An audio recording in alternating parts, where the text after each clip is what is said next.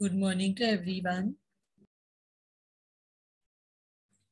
See, today what I will be doing with all of you is a live assignment session in which I will, there is one sum in front of your screen which all of you have to solve and because this is a sum of investment and if it is an offline exam also, you will not get more than 30 minutes to solve one sum.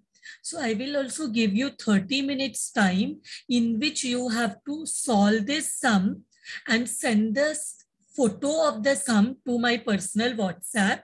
So let us see whether you are able to solve it correctly. And once again, this is a live assignment. Normally, I used to give you assignment in your groups where I used to send you the image of the sums and you were supposed to do and send me the solution. Here what I have decided is to you, this is the sum and we will utilize the lecture period wherein you will solve this sum during the lecture. So all of you can solve this sum.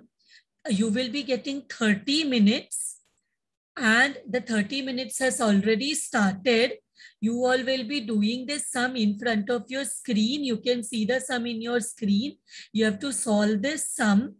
You will get 30 minutes because uh, in an offline exam also you will you should not waste more than you should not utilize more than your 30 minutes of one sum so you will get 30 minutes to solve this sum and after solving you have to send it to me. You have to send the image of the sum to me in the personal WhatsApp. I will assess it and let you know whether your assignment is correct or not.